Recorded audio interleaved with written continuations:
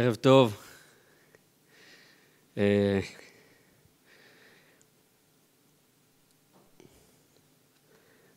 הנאום הזה, לא נאום, אני רוצה שנחשוב ביחד באופן אה, שיותר דומה לשיעור, לשיחה, מאשר לנאום חגיגי, למרות הנסיבות החגיגיות האלה של אה, חנוכת הקתדרה למחשבה ציונית. ואני מודה מאוד לקרן אספר אה, ולדברי הפתיחה החמים של אה, דן. אמ, התמונה שאתם רואים ברקע היא הזיכרון המשותף שלנו בגלל תמונה שבה בן גוריון, שכאן נראה בתחתית התצלום, הוא זה שעומד מאחורי הדוכן ומקים את מדינת ישראל. אבל האמת היא שכשוויצמן עומד מאחורי הדוכן, זה הרגע האמיתי של ייסוד המדינה, מכיוון שתשעה חודשים קודם לכן, כשבן גוריון עמד, כמובן לא שם בירושלים, אלא בתל אביב, והכריז על הקמתה, היא עדיין לא הוקמה. אה, כי המוסד העליון של מדינה דמוקרטית, הפרלמנט, עדיין לא הוקם. יותר מזה, ההכרזה הייתה בעיצומה של מלחמת העצמאות, ולא אה, התאפשר בכלל להקים מדינה במצב שבו המלחמה על הבית הייתה נטושה, והעתיד של ההכרזה הזאת אה, היה לוט בערפל לחלוטין. אפשר היה להתפנות להקים את המדינה רק בסוף המלחמה, או לפחות הייתי אומר בשלהיה, כי תכף כשנעבור על אה, הכרוניקה של האירועים, נראה את, התופ... את, את העובדה המעניינת שגם השלב הממשי של ייסוד הפרלמנט, של ייסוד הכנסת, בט"ו בשבט תש"ט, ב-14 בפברואר 1949, אה, התבצע עדיין, כלומר, בשוך הקרבות, אבל עדיין לא בשלו לחלוטין התנאים, הרגיעה אה, המתבקשת להקמת מדינה. היא, היא, היא, היא נוסדה בתנאים משוגעים לגמרי, בלתי סבירים לגמרי. אמ, תכף נספר על התהליך שלוקח אותנו מתל אביב בה' באייר, ה-14 במאי 1948, כשבן גוריון מכריז אל היום החגיגי השני, כאשר בירושלים ויצמן בתור נשיא המדינה שעדיין לא נבחר, זה יומיים לפני שהוא נבחר לנשיא, אה, כלומר בתור הנשיא בכוח, עדיין, עדיין לא בפועל, מייסד את המדינה, מייסד את הכנסת. אה, אבל רק חשוב אולי להסביר עד כמה הרגע הזה של ייסוד המדינה היה באווירת החג. עד כמה הוא היה קשור במהותו למעשה של נטיעת עץ. המדינה היא העץ שמנהיגי העם נטעו בט"ו בשבט. בן גוריון באותו בוקר אה, קיבל את פניהם של הילדים, של ילדי ירושלים, שאתם רואים בחלק התחתון של, של המסך, והשלט שהם נושאים, אה, אה, מצוטט בו הפסוק ישעיהו, שגם מופיע בתור המקור הראשון בדף שלכם, הבאים ישרש יעקב, יציץ ויפרח ישראל, לא נכנס בשלט ההמשך החשוב של הפסוק, ומלאו פני תבל, תנובה. כלומר, השלט הזה משחזר את ההבטחה הקדומה שהולידה את העם הזה. זאת אומרת, ברגע של ייסוד המדינה, בעצם יש פסוק שמהדהד את הלך לך מארצך, שנאמר לאבי האומה. כי שם נאמר, ואעשך לגוי גדול, ואגדלה שמך, והיה ברכה. המילה ברכה חוזרת ארבע פעמים בפסוק שם. אברך מברכך ומקלליך האור, ונברחו בך כל משפחות האדמה. כלומר, הבאים, כלומר בימים הבאים, כאשר העם הזה ישתרש בארץ, זה מה שאומר הפסוק בישעיהו, אז כל העולם יתברך בכך. זה אומר שהציונות היא היהדות, שכדי להגשים את התורה צריך להשתרש בארץ ישראל. אי אפשר להגשים את התורה אלא על ידי ההשתרשות הזאת. ואין לנו את חג ההשתרשות הזאת. יש לנו את חג יציאת מצרים, מה עם חג הכניסה לארץ? מה עם חג ההשתרשות? ט"ו בשבט לא זכה למעמד, לפירוש, למשמעות הזאת. האמת, הוא לא זכה לה עד עכשיו, למרות ההזדמנות ההיסטורית שניתנה לו ברגע ייסוד המדינה. היינו מצפים שמאותו רגע יקרה לט"ו בשבט בעצם התהליך שאופייני לשאר חגי ישראל. כל מיני חגים חקלאיים או עונתיים אה, קיבלו אחר כך את הקומה השנייה של המשמעות שלהם בתור חגים היסטוריים.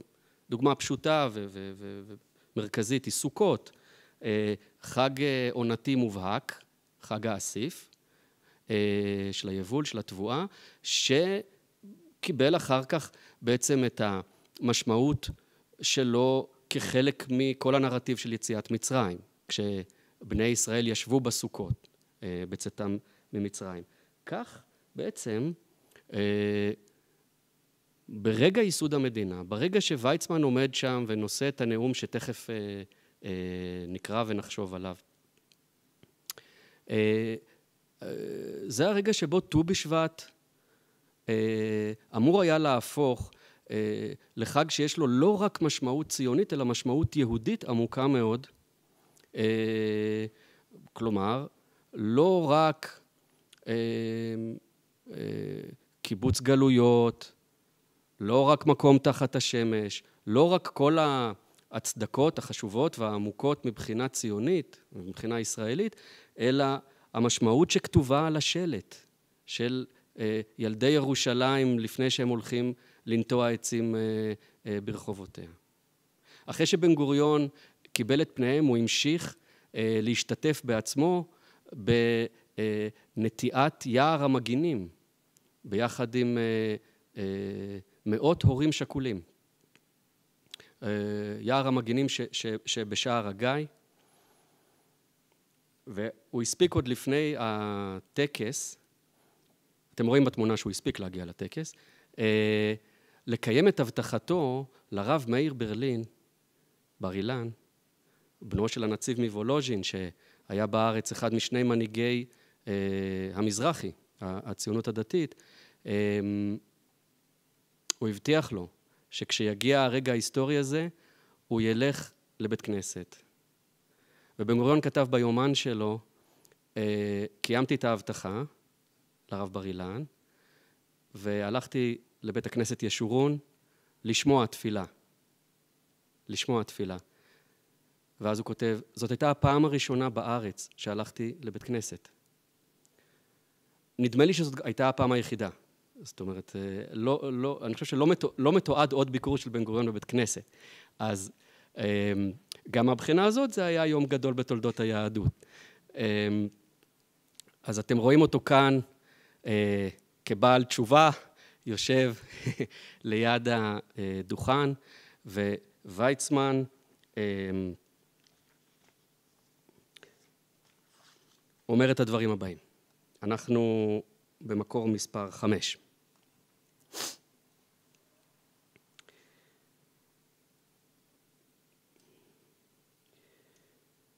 ברגש של יראת כבוד והדרת קודש, אני קם לפתוח את האספה המכוננת של מדינת ישראל, את כנסת ישראל הראשונה בימינו, בעיר הנצחית ירושלים. היום אנו ניצבים על סף תקופה חדשה.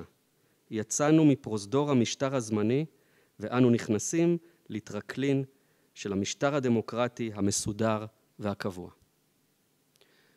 פה אני צריך לעצור את הנאום שלו כדי לתת את, ה, את הפלשבק, איך הגענו אל, אל, אל אותו הרגע. ובכן, התהליך התחיל כשנה ורבע לפני כן בהחלטת האו"ם. בכ"ט בנובמבר, ה-29 בנובמבר 1947. החלטת האו"ם הייתה, כזכור, לחלק את הארץ לשתי מדינות, מדינה יהודית ומדינה ערבית.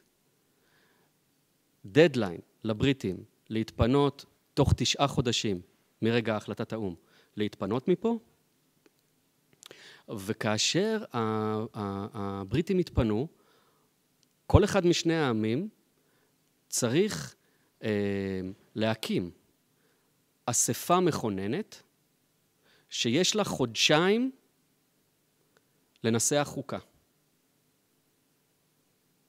זאת אומרת, ב-1 באוגוסט 48' היהודים ובמקביל הערבים צריכים לייסד אספה מכוננת, כלומר גוף חוקתי, שעד ה-1 באוקטובר יגבש חוקה. ויש להם קריטריונים גם בהחלטת האו"ם, איזה מין חוקות אלה, אלה צריכות להיות. למשל, שהן צריכות להתייחס, כל מדינה צריכה לכלול בתוך חוקתה התייחסות למערכת היחסים שלה עם המדינה השכנה. אמ,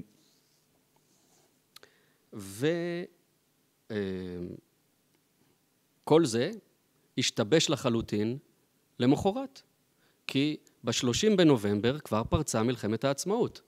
ובמשך חצי שנה היא התנהלה כמלחמת גרילה, כמלחמת מיליציות או פלנגות, מלחמת אזרחים. אה, אה, מלחמה שכמובן הערבים פתחו בה, ובכך הם אה, הכריזו בפועל על אי הכרתם בהחלטת האו"ם, והבריטים גם, לאור, לאור מצב המלחמה, הכישו את התפנותם והודיעו לאו"ם שהם יעזבו כבר בחמישה עשר במאי. כלומר, הם הקדימו בחודשיים וחצי את אה, מועד עזיבת הארץ. במצב המשובש הזה, הצד היהודי היה צריך להחליט אם הוא ממשיך לשחק את המשחק במעמד צד אחד. זה היה ויכוח שהוכרע על חודו של קול יומיים לפני עזיבת הבריטים. זה הוכרע אחרי יממה, אחרי ישיבה, ממש עד שיצא עשן לבן מהחדר. בגלל כל מיני שיקולים כבדי משקל, ובראשם הערכת מצב שזאת השואה הסופית. זאת אומרת, שאם אה, נמשיך על פי הסצנריו שהוכתב על ידי האו"ם, אה, נמשיך עד הסוף, כן? ונכריז על הקמת המדינה, זה קזוס בלי, למחרת אה, כל מדינות ערב יפלשו, וליישוב היהודי שמנה כחצי מיליון נפש בסך הכל, 600 אלף איש, והיה אה, אה, נטול נשק כבד, האמת גם פחות או יותר נטול נשק קל באותה תקופה, הסיכויים לעמוד מבחינה צבאית נראו עלובים. אז במצב המבהיל הזה, על חודו של קול, באותו יום שישי בארבע וחצי אחר הצהריים, בין השמשות, אה, בן גוריון, אה, כן, שלקח את הסיכון והכריז על המדינה, הביא עלינו את פלישתם הצפויה של אה, חמישה צבאות ערביים בשבת בבוקר, למחרת. מלבנון פלש צבא המתנדבים הכלל ערבי של קאוג'י, מרמת הגולן גלש הצבא הסורי, אמ, מהגבול המזרחי גם הצבא העיראקי וגם הליגיון הירדני, אה, ומדרום הצבא המצרי. ואז המלחמה הפכה מחצי שנה של אה, מלחמת אזרחים לחצי שנה של מלחמת צבאות. אה, וכעבור כחצי שנה, צה"ל, שהוקם תוך כדי תנועה, כי כאשר בן גוריון הכריז על הקמת המדינה עוד לא היה צה"ל. אה, צה"ל אה, אה, ניצח ברוב הגזרות, ובשלב האחרון המלחמה הייתה בעיקר המלחמה על הדרום מול המצרים.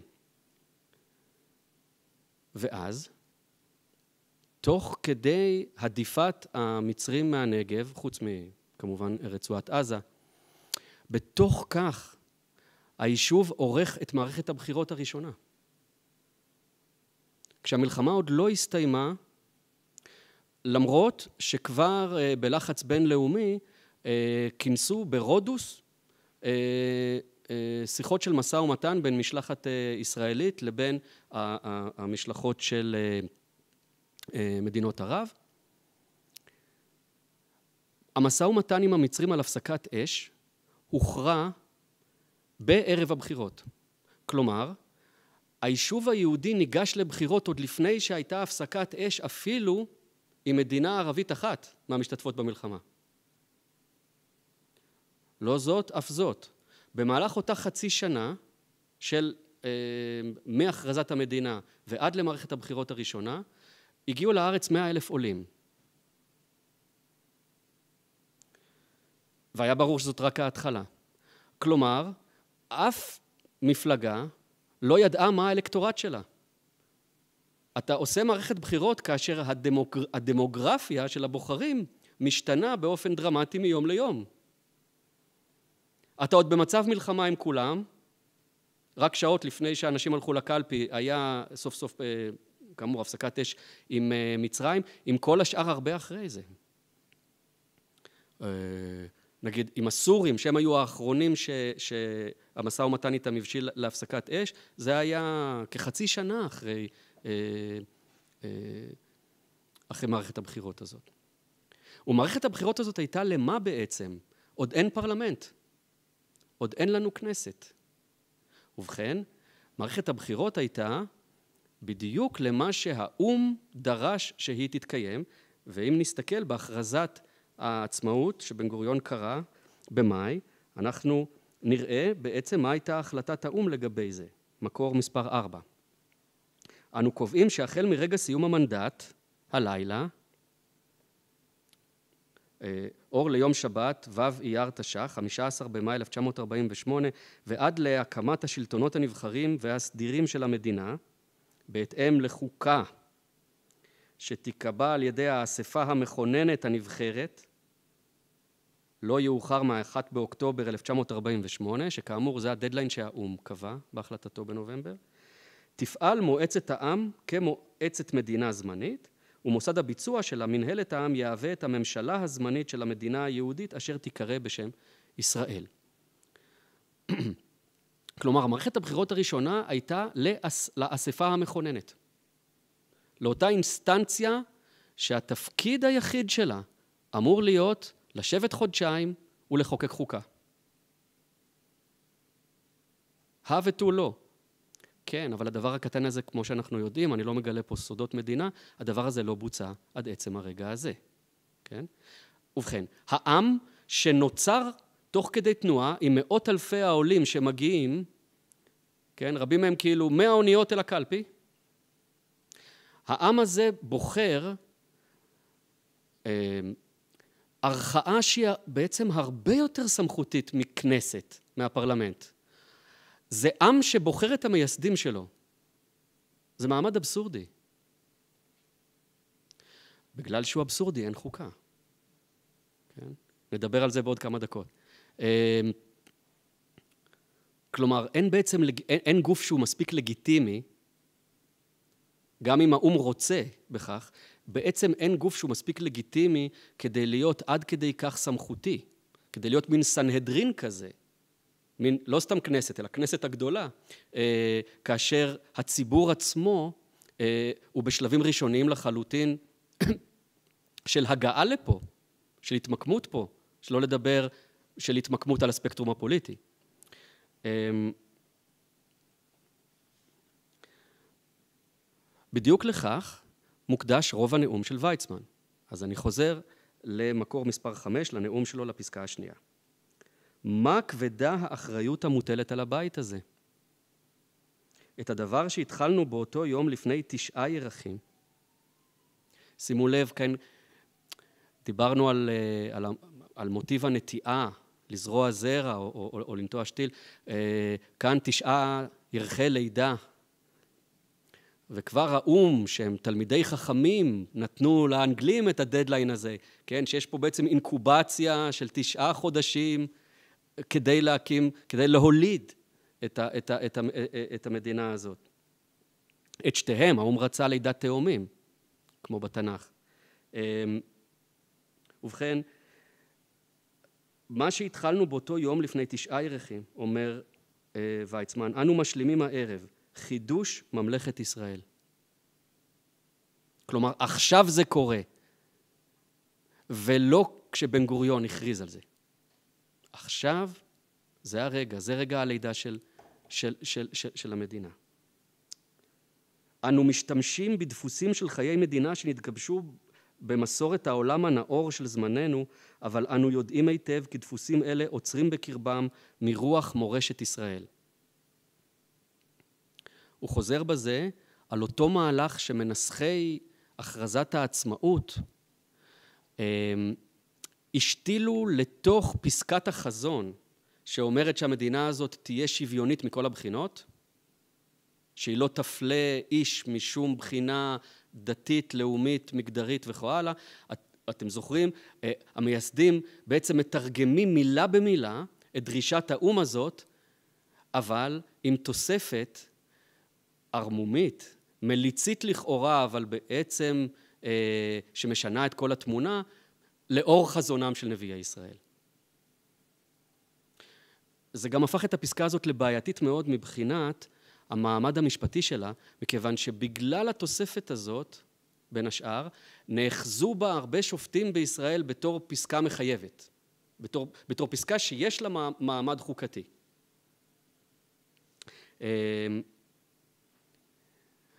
והנה גם ויצמן אומר, אנחנו לא רק עושים כמו כולם, אנחנו לא רק הופכים היום לעוד מדינה אה, במשפחת המדינות, לעוד מדינה דמוקרטית, מתוקנת, מתקדמת ונאה על פי הסטנדרטים המקובלים בעולם, אלא אנחנו עושים הרבה יותר מזה, גם כלפי פנים וגם כלפי חוץ. כלומר, גם מבחינת הציפיות שלנו מעצמנו להגשים במדינה הזאת את מורשת ישראל, וגם מבחינת הבשורה שאנחנו מתיימרים לשאת לעולם. שאנחנו לא החקיינים, אנחנו לא האחרונים לאמץ איזה מודל, אלא אנחנו מורי האנושות למודל הזה עצמו. אה, שזאת בעצם המשמעות המתריסה ממש של אותה תוספת של אה, אה, הכרזת העצמאות לאור חזונם של, כלומר, כאילו כל האו"ם אמור להיות לאור חזונם של נביאי ישראל. כלומר, האו"ם לא עושה לנו טובה, אנחנו לא אוכלים מהפירורים שנפלו מהשולחן של האומות המתוקנות, אנחנו המורים שלהם. אמ, והוא אה, ממשיך ואומר ויצמן אה, בעולם הקדמון כלומר מכאן הוא מפרט למה הוא מתכוון לגבי הבשורה העתיקה שאנחנו עכשיו אמורים אה, להגשים. בעולם הקדמון נשאה ארצנו הקטנה את דגל המרד הרוחני נגד שלטון העריצות וכוח הזרוע שהשתולל סביבה. כן? שהרי להווה ידוע שהיינו מוקפים אה, במעצמות הכי גדולות והעריצות של העולם המוכר. מזופוטמיה מצד אחד, על המעצמות המתחלפות שלה, ומצרים אה, מהצד השני. ואילו תורת ישראל וחזון נביאי ישראל קבעו מוסר חדש ביחסי אדם והנהיגו משטר חדש בחיי החברה האנושית. סמכות המלך בישראל הייתה מוגבלת על ידי התורה והמסורת, נביאי ישראל לא נרתעו מלדבר משפטים עם מלכים ורוזנים, ובשבט לשונם הגנו על עני ומקופח, גר ועבד, יתום ואלמנה. כלומר, הבשורה שלנו היא מאוד פוליטית. אתם חייבים מדינה, אתם חייבים את, הממלכ... את הקטגוריה הממלכתית בשביל ליישם את התורה. זאת לא תורה אנטי פוליטית, כמו אולי הנצרות, שהיא, כן, חוטר, היא החוטר האנטי פוליטי של היהדות, תנו לקיסר את אשר לקיסר ולאלוהים את אשר לאלוהים. פה התורה היא אלטרנטיבה פוליטית. היא לא אלטרנטיבה לפוליטיקה, היא פוליטיקה אלטרנטיבית. לפוליטיקה העריצה. היא הפוליטיקה שעיקרה, אומר ויצמן, הוא אה, בהגבלת הסמכויות של השליט. אה, אה, וכל הרגישות החברתית אה, העצומה לגר, ליתום, לאלמנה, לעבד. עצם מוסד המלוכה היה למורת רוח, למאשריה, כלומר למוריה הרוחניים של האומה. וכאן הוא מביא פסוק: לא אמשול אני בכם ולא ימשול בני בכם, אדוני ימשול בכם, קורא השופט באוזני העם. מעניין שהוא מביא פסוק לא מהתורה, אלא מספר שופטים, הוא מצטט את גדעון, שזו הייתה תשובתו המהדהדת אמ, לבני ישראל, שהיו כל כך אסירי תודה לניצחונותיו על האויב המרכזי של העם באותה תקופה, המדיינים. אמ, ולכן הם רצו לקחת את היחסים לשלב הבא, כן, עם, עם, עם גדעון, אז למה להסתפק בו רק כמצביא? בוא, בוא תמלוך עלינו, ו, ו, אה, והוא מסרב, או מסרב כביכול. מכיוון שכאשר אנחנו מסתכלים בסיפורו של גדעון במקור הבא, מקור מספר 6 אה, אצלכם, אה, קל לראות שבפועל הוא התנהג כמלך לכל דבר. אה, הדבר שהוא עשה מיד אחרי שהוא אמר את, את אותו פסוק מצטנע ומתייפייף, היה בעצם על ידי האפוד ש, שהוא יצר, היה להקים אצלו את המרכז התיאוקרטי. את, את המרכז הפולחני, שזה דבר שכל מלך עושה. זאת אומרת, ה, ה, אמ, אה, כבר האקט הזה הופך את, אמ, אה, את חצרו למרכז הפולחני ולא רק למרכז השלטוני אה, הצבאי. חוץ מזה, הכמות המסחררת של נשיו ופילגשיו ובלאו הכי צאצאיו זה מבחינה סוציולוגית מסגיר לא פחות ממלך, משליט. אה, וגם מבין צאצאיו, אה, בנה של אחת מפילגשיו, הוא עצמו, גדעון, מעניק לו את השם אבי מלך. מה אנחנו עוד צריכים? אבא שלי מלך. הוא לא קרא לבן שלו, אה, אדוני ימשול בכם. הוא קרא לו אבי מלך. ואז, באופן אירוני וטרגי, הבן הזה לוקח מאוד ברצינות את שמו.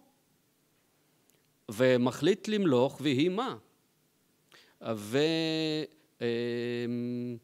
ומציע את עצמו לאנשי שכם, זה כמיטב המסורת הפוליטית הכנענית של ערי מלוכה, של, כן, כמו ביוון.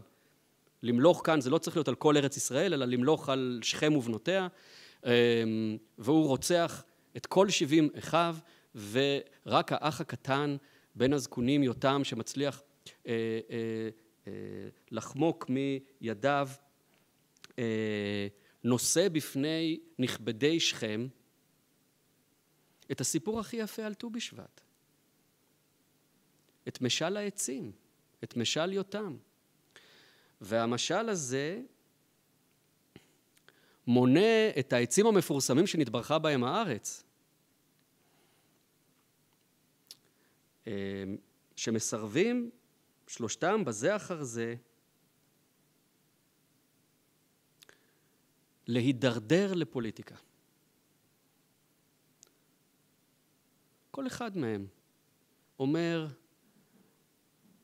למה שאפסיק לתרום לציבור, לתרום לחברה, את התרומה הממשית שלי בשביל ללכת להיות, ללכת לנוע על העצים, זאת אומרת ללכת לעשות הרבה אוויר חם.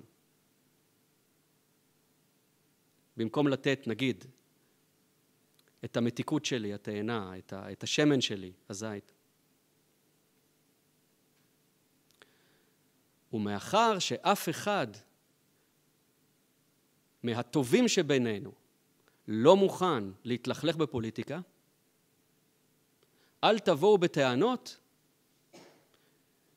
אם הגרוע שבינינו הוא זה שייקח על עצמו את, הפוליטיקה. זה לכאורה משל פשוט, והוא בעצם משל חמקמק ביותר. קודם כל, אמ, האם זאת איננה ביקורת איומה ונוראה על אבא שלו? שסירב, לפחות מהפה ולחוץ, להתלכלך בפוליטיקה.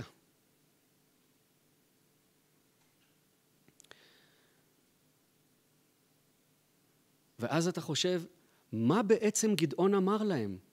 האם אפילו מהפה ולחוץ הוא סירב, או שהוא אמר להם, אדרבה ואדרבה, ברור שאמלוך עליכם, רק שתדעו שאני מולך עליכם בשם השם. כשאני אמלוך עליכם, רק תזכרו כל הזמן, זה אדוני שמושל בכם, זה לא סתם השתלטתי עליכם. ועל כן האפוד. על כן הפולחן שהוא עושה סביב עצמו בעצם. הוא מעניק לעצמו הכשר, לגיטימציה, אה, אה, שכמעט כל מלך נזקק לה בהיסטוריה, הלגיטימציה הדתית הפולחנית.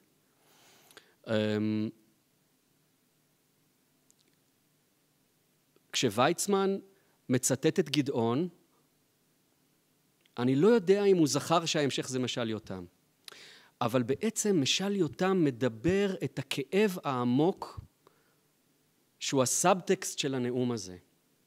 זה הכאב של דור המייסדים שיודע שלייסד זה לרדת מהבמה. זה הרגע שבו נגמר בארץ העידן החלוצי ובציונות הבינלאומית העידן של ויצמן. זה הרגע שבו התנועה הציונית אולי הופכת למיותרת, כלומר המוסדות שלה מוחלפים במוס, במוסדות שראש התנועה הציונית עד רגע זה מקים עכשיו. זאת הטרגדיה של הזרע, של הצמח. הזרע אמור למות כדי שמתוכו יצמח משהו. זאת הטרגדיה של הזחל או של הגולם, שהוא אמור למות בתור זחל כדי שיצא הפרפר. המטמורפוזה הזאת של, של התנועה הציונית מיום הקמתה, זאת אומרת, רגע הייסוד הוא גם רגע של קבורה, הוא רגע של פרידה מ...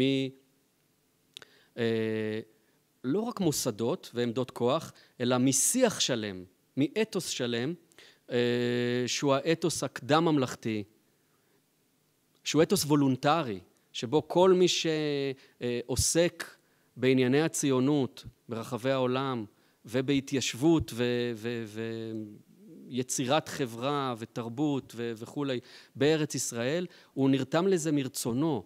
זה עדיין לא הממלכתיות במימדים הבירוקרטיים שלה, זה עדיין לא האזרחות במימדים של אימת הדין. כלומר, שאנשים מתנהגים כמו שצריך, רק, רק מימת הדין, ולא מתוך רוח התנדבות.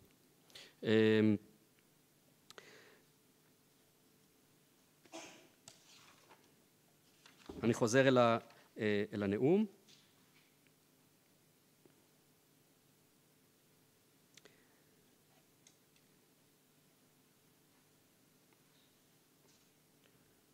אומר, אה, אם עיקר שורשה של חוקת המדינה החדישה היא בהגבלת סמכותו של המלך, הרי המשטר הקדמון של העם העברי אב הוא לחוקות העולם הנאור. כלומר, אם עד עכשיו לא הבנו את הרמז, אז אה, אכן, כל מערכת הערכים הנאורה שהאו"ם דרש מאיתנו אה, ובן גוריון בקולו התחייב עליה, זה באמת מבחינתנו הדהוד של תורתנו שלנו, של המסורת שלנו, של, של, של, של, של, אה, של מסורת ישראל כפי שהיא מופיעה במקרא. זה שהוא נשען על פסוק שאינו מהתורה, יש בזה פוטנציאל אדיר, שגם זה, אני, אני לא חושב שהוא היה מודע לזה, אה, אבל יש בזה פוטנציאל אדיר מבחינת ההתחדשות היהודית. מכיוון שכל עוד אתה נסמך רק על החומש, רק על התורה, אז שם קשה מאוד לחלוק או להגיע לאיזושהי חדשנות, לאיזושהי פריצת דרך של, של, של, של הגשמת התורה בגלל המטענים העצומים של הפרשנות האורתודוקסית. אבל אם אתה נשען לא על התורה במובן המחמיר של המילה, אלא אתה נשען על מסורת מקראית, כמו משפט שאמר גדעון, זאת לא תורה למשה מסיני, אז טווח התמרון הפרשני שלך הוא לאין ארוך גדול יותר. ו... אמ, אה, כן, אז גם כאן מעניין שברגע ייסוד המדינה גם בעצם מתרחש רגע קטן, אבל מלא הבטחה, אני חושב, של התחדשות יהודית. מבחינת מה הם מקורות הסמכות וההשראה אה, אה, ל, ל, להגשמת המורשה שלנו. אה, והוא ממשיך ואומר, אנחנו העם שנתן פעם לעולם כולו את בשורת הרוח שהייתה ליסוד, ליסוד התרבות האנושית, עינו הבוחנת של העולם צופה עכשיו אלינו לראות איזו דרך נבור לנו בסידור חיינו, מה דמות נעצב למדינה שלנו. אוזנו קשובה לשמוע אם תצא בשורה חדשה מציון ומה תהיה הבשורה.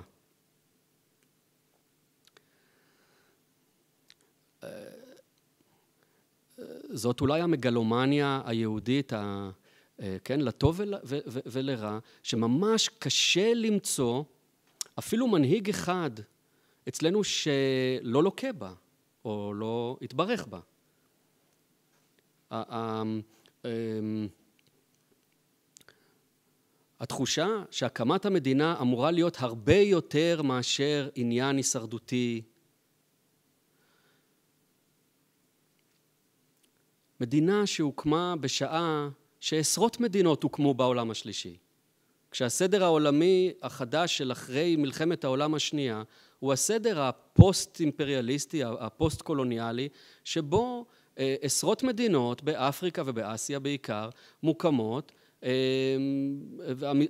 המזרח התיכון אה, מוקמות בו מדינות ובהם גם שתי המדינות האלו שהיו אמורות לקום אה, בפלסטינה, ארץ ישראל ואף אחת מהמדינות האלה לא הייתה צריכה להצדיק את עצמה. בטח שלא להצדיק את עצמה בתור המגדלור של העולם כולו. וכאן התחושה ש...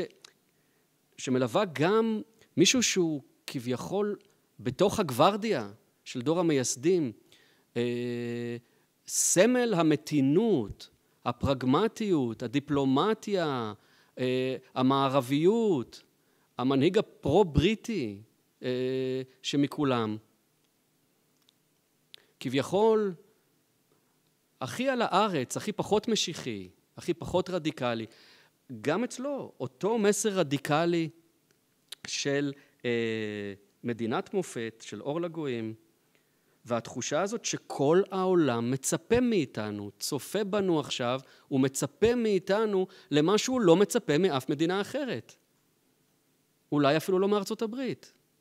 רק מאיתנו מצפים לפרק חדש בתנ"ך.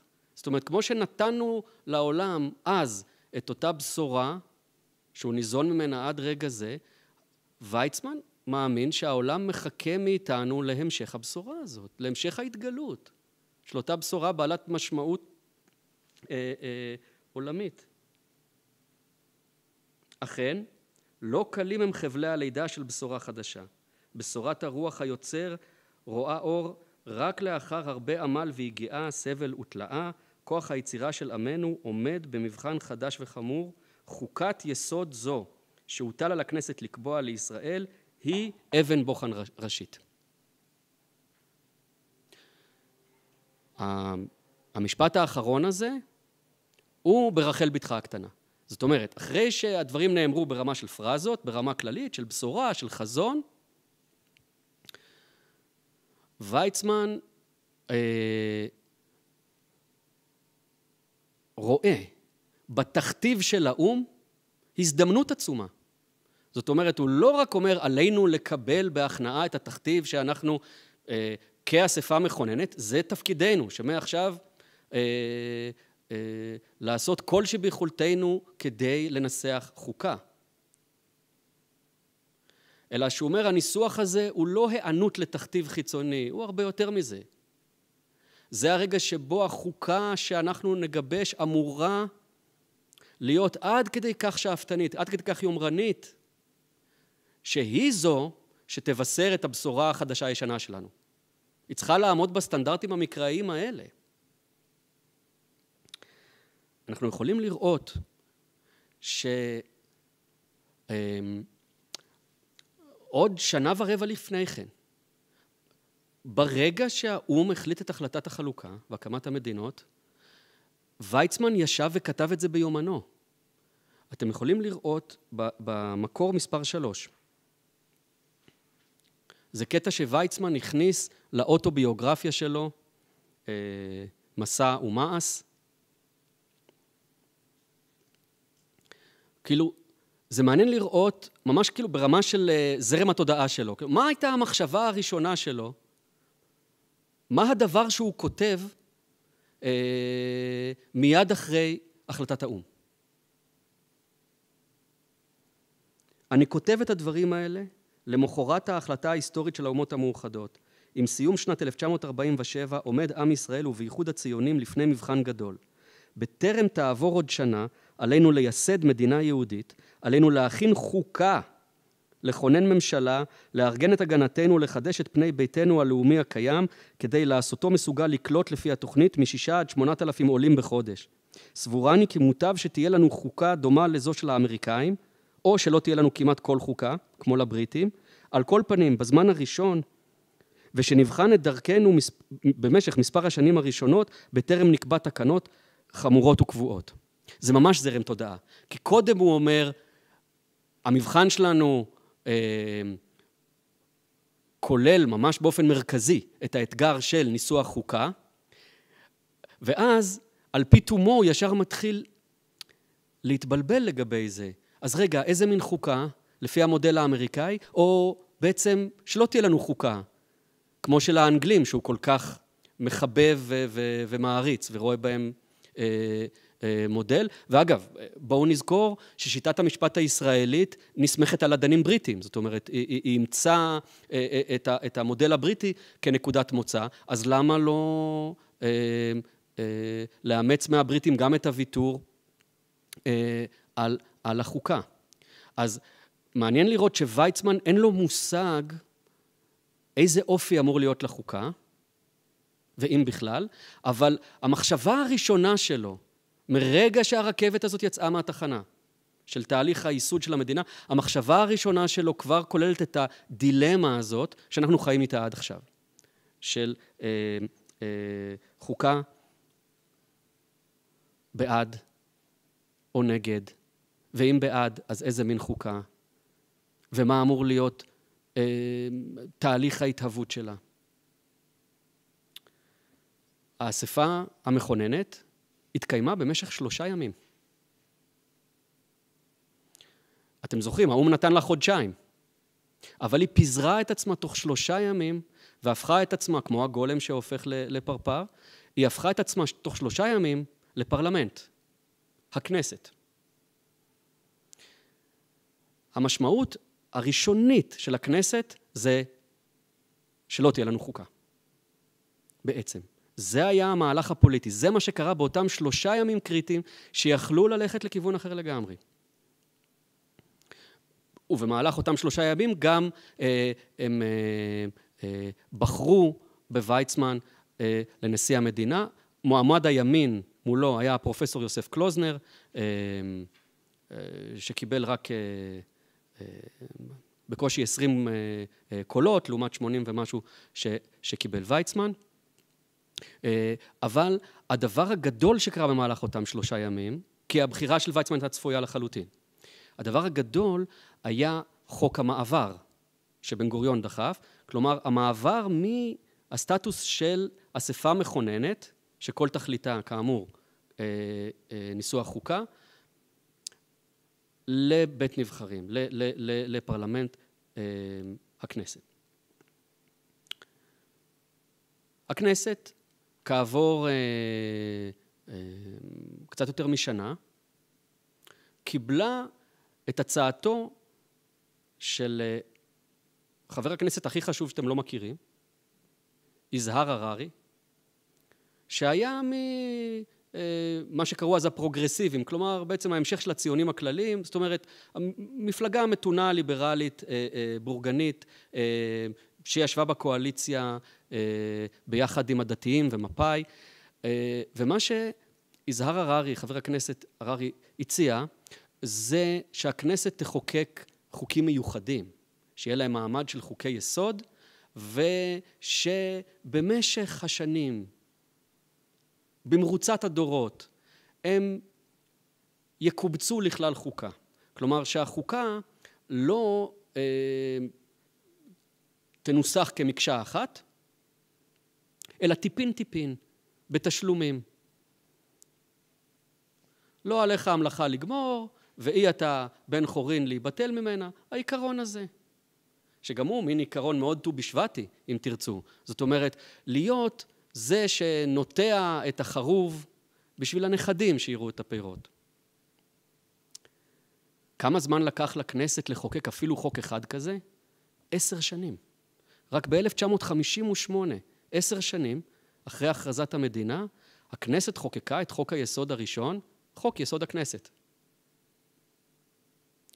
כמה חוקי יסוד היא הספיקה מאז, במשך יותר מ-70 שנה לחוקק? 13 בלבד.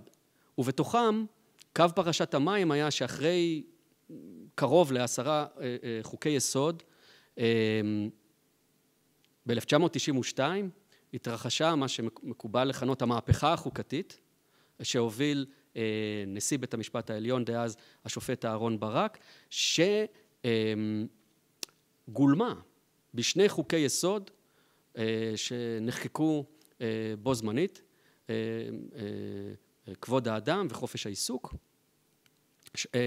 אה, שני חוקים שהם במהותם, אה, אה, כן, עוסקים בזכויות יסוד, בזכויות אדם. ואחר כך חוק היסוד המהדהד מכולם, שהוא נחקק לפני שלוש-ארבע שנים, והוא עדיין על המדוכה, הוא עדיין שנוי מאוד במחלוקת, זהו חוק הלאום.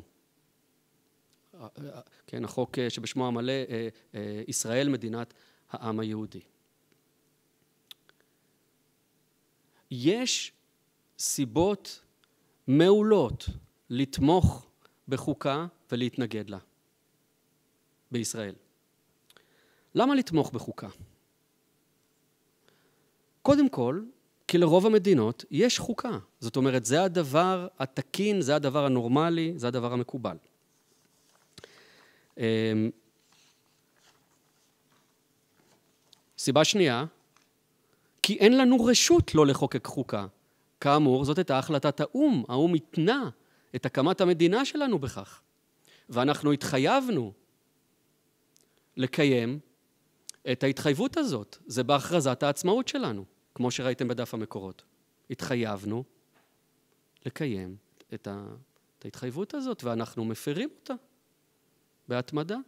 מאיפה אנחנו שואבים את החוצפה להפר את, ה, את, ה, את, ה, את ההתחייבות המפורשת וה, כן, אה, הבסיסית הזאת.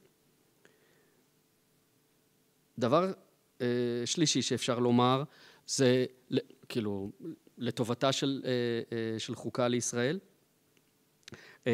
זה שהיא נחוצה מאוד כדי להסדיר את מערכת היחסים שבין הרשויות אצלנו. אתם יודעים שמערכת היחסים הזאת היא מאוד מאוד מתוחה ולא ברורה אצלנו. מי הבוס בעצם? מי הריבון פה? מי מחליט? אז שתהיה חוקה שתסדיר את זה כבר.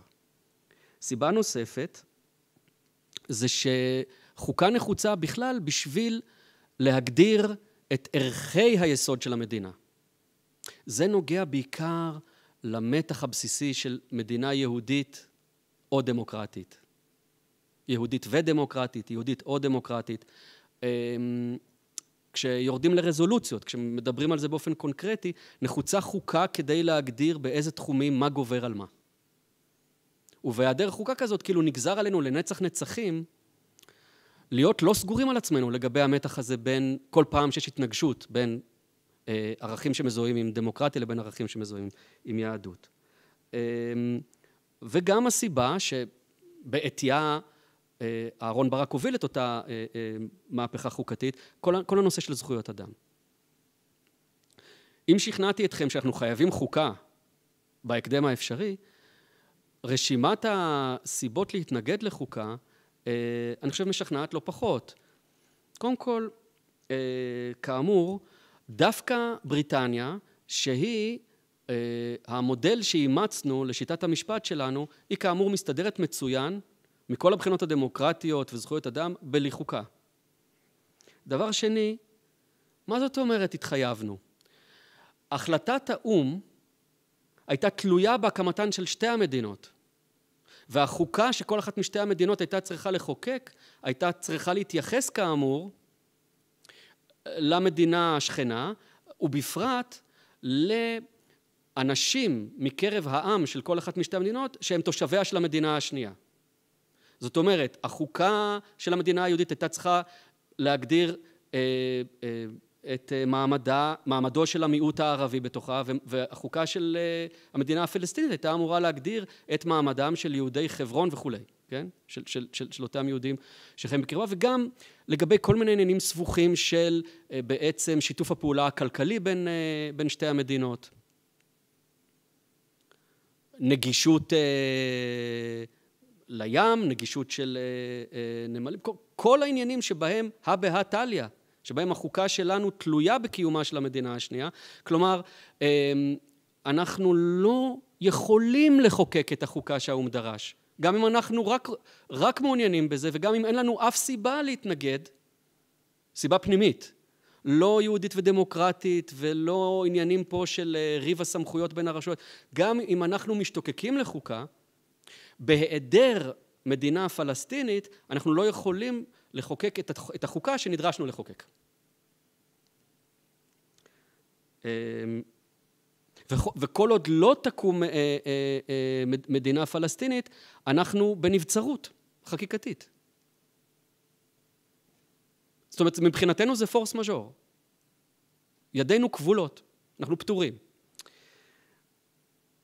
סיבה נוספת, שכבר נגעתי בה מבחינת תיאור המצב הכאוטי לחלוטין מבחינה דמוגרפית של מהו העם, מהו הציבור בכלל ש, שהמייסדים מייסדים לו אה, מדינה תוך כדי מלחמה ותוך כדי עלייה המונית שהייתה אז רק בתחילתה. אמ, אז ברור שבשנים, שלא לדבר על החודשים הראשונים לקיומה של המדינה, אין לגיטימציה לשום פורום בתוך עם שהוא רק בתחילת הגעתו והתגבשותו פה, אה, להכתיב חוקה. זה הרבה מעבר לסמכות לגיטימית במצב כזה. ואם תאמרו, טוב, זה היה המצב רק עד נאמר בערך 1960, שבערך ב-20 השנים הראשונות של העלייה ההמונית, עד שהתייצב פה פחות או יותר עם, הסיבה הזאת הייתה נכונה לשעתה, אבל כבר פג תוקפה. ובכן, מה שנשאר קבוע זה שאין שום ציבור הגמוני בחברה הישראלית. אין כאן רוב מובהק לאף מגזר בעם, ולכן בהיעדר בעצם מיינסטרים ישראלי, אז כל חוקה תהיה בעצם אה, השתלטות אה, של אליטה כלשהי שהיא לא מייצגת שום זרם גדול מספיק בעם כדי להכתיב דבר עד כדי כך אה, סמכותני וכובל. מאה אחוז. אמ, ישנה כמובן הבעיה של דת ומדינה, שהיא מיוחדת לנו. אה, מבחינת רוב הדתיים, יש לנו חוקה, הלא היא התורה, ועל כן, החוקה האזרחית יכולה להיות רק אחת משתיים. או שהיא תהיה בהתאם לתורה ואז היא מיותרת, או שהיא תסתור את התורה ולכן אין לקבל אותה. וכידוע, לא מדובר במיעוט קטן, אה, זניח, שאפשר להתעלם ממנו אה, אה, ולחוקק על אפו ועל חמתו, חוקה. אה, וגם מבחינת הסיבה האחרונה שמניתי למה כן חוקה, כלומר אה, המתח אה, בין הרשויות, אפשר לטעון שהחוקה לא תפתור את המתח הזה, אלא תחמיר אותו לאין ארוך, מכיוון שהיא תהיה השלטה של המערכת המשפטית, ותהיה לנו רק רשות אחת בעצם. זאת אומרת, רמת הבג... הביגוץ של קבלת ההחלטות במדינת ישראל תהיה גורפת. זאת אומרת, אם עד עכשיו אה, אה, בית המשפט העליון אה, עושה כל מיני דברים יצירתיים מבחינה פרשנית כדי להעניק מעמד כמו חוקתי לחוקים, ועל ידי כך לטרפד החלטות של הפרלמנט אה, אה, והחלטות ממשלה, אז הכוח שלו אה, יגבר לאין שיעור אם, תעמוד, אם יעמוד לרשותו הכלי הזה של חוקה. הוא יוכל, הוא יוכל באמת לפסול אז כל שני וחמישי כל החלטה בטענה שהיא סותרת את הפרשנות שלו לחוקה. ועל כן נשארנו לטוב ולרע בט"ו בשבט תש"ט. אנחנו אה, אה, לעולם תקועים בפברואר 1949. לא התקדמנו בעצם באופן מהותי, אמ, וזה לא רק רע, לאור הסיבות ש, ש, שמניתי, אבל גם מבחינת שימור הטריות של מצב הייסוד. שהשלב הפורמטיבי, השלב המעצב של המדינה הזאת, של האתוס שלה, של, אמ, של המוסדות שלה, של הליכי החקיקה שלה, הוא עדיין מצב של אה, תסיסה ראשונית. אנחנו עדיין במצב של נטיעת השתיל. אה, אמ, ולכן כל ט"ו בשבט, גם השתה, הוא, אמ, אה, הוא הט"ו בשבט הראשון, כמו פסח מצרים. ואסיים, ברשותכם, בדברים שאמר יושב ראש הישיבה הזאת, אה, ישיבת הפתיחה של הולדת המדינה. כן? אחרי שוויצמן אה, סיים לנאום, היו עוד כל מיני דיונים טכניים באופיים, ויוסף שפרינצק, יושב הראש, נעל את האספה במילים וכעת הגיעה שעת הנעילה של הישיבה הראשונה של האספה המכוננת בישראל. נבחרי ישראל, צירי הקונגרס הראשון, בדרך ארוכה הגענו עד הלום. מבאזל הלכנו והולכנו את כל כוחות עמנו המתעודדים עד תל אביב, אשר בה קבל עם וקבל כל העמים הודענו את החלטתנו להתקיים כאומה עצמאית וכמדינה יהודית. ומכאן, בקפיצת הדרך בהיסטוריה העברית, בהשראת בנינו שנפלו על אדמת ישראל, בהתעוררות הרצון העליון והכישרון המתגבר והמעשה המפליא, הגענו היום בראש השנה לאילן, ראש השנה לאילנות, לירושלים עיר קודשנו, מחוז חפצנו. ביום זה נטעו ילדינו עצים חדשים, עצי דעת ועצי חיים, לאומה לימים הבאים. גם אנחנו, נבחרי ישראל, נתנו היום נטיעה חדשה. בפקודת הדורות שחלפו למען הדורות שיבואו, נתנו היום את האילן הנאה, אילן עצמאות ישראל. שומה על האספה המכוננת לטפח את העץ הזה ולדאוג לכך שיגדל ויישא פרי, ובצילו ישכון העם לבטח, ישכנו לבטח כל תושבי מדינת ישראל. תודה.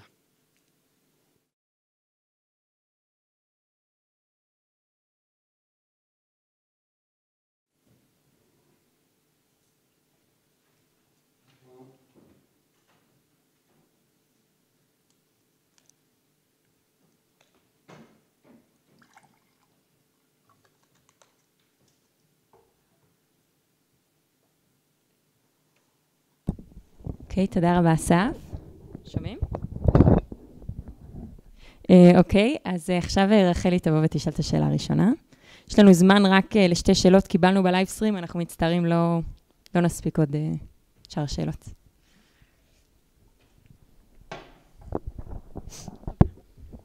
היי, תודה רבה. אמ, ברשותך, אני אצטט טענה מקורס אחר בשלם, בסדר? אמ, פרופסור שטרן, בקורס שלו במדינה יהודית ודמוקרטית, אומר שחוקה נחקקת באחד משני מצבים. או בהקמת מדינה, או אחרי משבר מאוד מאוד גדול. אז בהנחה שהחוקה לא נחקקה, האם אתה צופה משבר מאוד מאוד גדול אה, למדינת ישראל? ואם כן, האם כאילו אתה חושב שהוא יצליח לחוקק חוקה? אני לא חושב שיש לנו תנאים לחוקה. ואני לא רוצה לייחל לקטסטרופה עד כדי כך קיצונית, ש... אה, כלומר, למחיר כל כך גבוה, אה, רק בשביל אה, שתהיה לנו חוקה. פרופסור שטרן, אגב, אמר לא פעם שאסור להשתמש בהכרזת העצמאות בתור חוקה. מכיוון שעל ידי כך בעצם אה, שופטי העליון גוררים אותה אל המחלוקות, אל השסעים, אל המתחים הלא פתירים, על כל מקרה לא אה, בעתיד הנראה לעין, של, של החברה הישראלית, ועל ידי זה הם בעצם נוטלים מהחברה הישראלית אה, את המסמך הקנוני שהוא אולי הדבק היחיד שהעם הזה הצליח לנסח. באותו רגע, כלומר, לא רק הניצחון במלחמת העצמאות היה פלאי, גם הכרזת העצמאות היא פלא. שדור המייסדים הצליח להסכים על נוסח של דתיים וחילונים, של שמאל, של ימין, של כל הזרמים. אמ, ולכן אה, אומר פרופסור שטרם, אני חושב שהוא מאוד צודק לגבי העניין הזה, שצריך להתייחס אל הטקסט הזה כאל טקסט קנוני כמעט במובן הדתי. זאת אומרת שזה זה, זה הקודש של הישראליות. אמ, אז, אז אה, אה, כל אלה שאצה להם הדרך, זה אחד הדברים שהם עושים. הם נאחזים במשפטים מתוך הכרזת העצמאות בשביל להגיד, כבר יש לנו חוקה. פסקת החזון בעיקר, הפסקה השלוש עשרה בהכרזה, שימשה לעייפה שוב ושוב בתור פסקה בעלת מעמד אה, אה, חוקתי כביכול.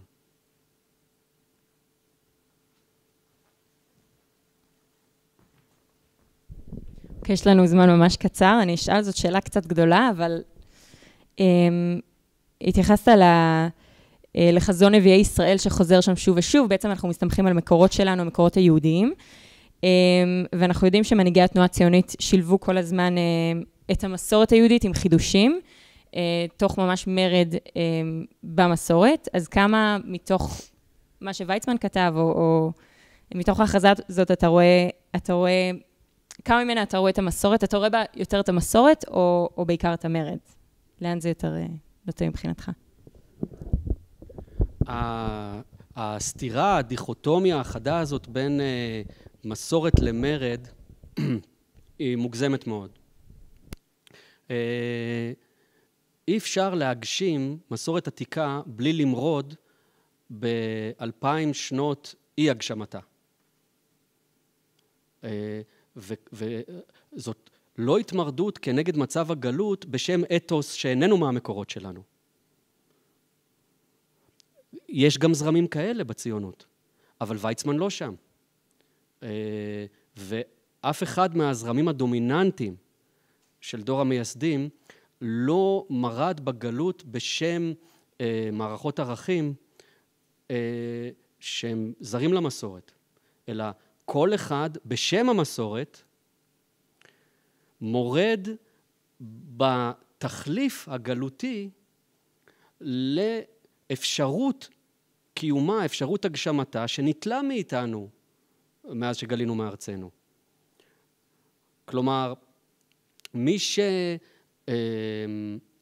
אמ, מייחס לשיבת ציון המודרנית ולהקמת המדינה משמעות דתית, שאלה פלגים חרדים, בעיקר הקיצוניים שבהם, אה, הם לא חלק מהשיחה הציונית הזאת. בתוך השיחה הציונית הזאת כולם אומרים נפל דבר ביהדות, לא רק נפל דבר בעם ישראל. אמ, הגלות במובן הזה הייתה נוחה, מכיוון שהיא העניקה פטור מתמשך מקיום התורה כתיאולוגיה פוליטית. אפשר היה לקרוא סיפורים כאלה כמו על השופט גדעון בתור אגדה ולא הלכה. סיפור מעניין שאפשר לכל היותר לפתח כלפיו איזה רגשות נוסטלגיים, לגיבורי החיל ולנופי הקדם האבודים שלנו. אמ, אבל מרגע שחזרנו לארצנו ומרגע שחזרנו למצב ריבוני, הפסוק אה, אה, של גדעון נאמר על ידי ויצמן בתור הלכה ולא בתור אגדה. זאת אומרת, מעכשיו אנחנו אמורים לאור הפסוק הזה לעצב, אור, לעצב חיים, לעצב הלכות מדינה. מעכשיו היהדות מקבלת מחדש, כלומר, היא לא סופחת כרגע בבחינת התבוללות או התייוונות את הקומה הפוליטית של, של התיאולוגיה, אלא היא, היא, היא פתאום מאותגרת על ידי המקורות העצמיים שלה. אה, לכן, אה, אה, כל, אני חושב, כל המנהיגים כולל, לכן, לכן כשוויצמן אומר את זה, זה מעניין ומפתיע. כשמישהו די משיחי כמו בן גוריון אומר את זה, אף אחד לא מופתע, מכיוון שהפרויקט הציוני מבחינתו הוא פרויקט נאו-מקראי, בגלוי, במוצהר. קשה לחלץ אמירה אחת של בן גוריון שהיא לא נאו-מקראית, באופן מאוד מאוד שקוף. אבל אנחנו רואים ש... מי שמייצג יותר מכל שאר המנהיגים הבולטים באמת את המודרנה המערבית אה, אה, בתנועה הציונית, כשגם הוא נאחז בתנ"ך בתור מקור השראה הלכתי, שעליו אנחנו אמורים להשתית חקיקה, להשתית, להשתית את החוקה, אה, אז זה, זה לא מהלך מרדני, זה, זה מהלך מסורתי ביותר, מהלך מסורתי עמוק. למעשה, אם תרצי, זה מהלך פונדמנטליסטי.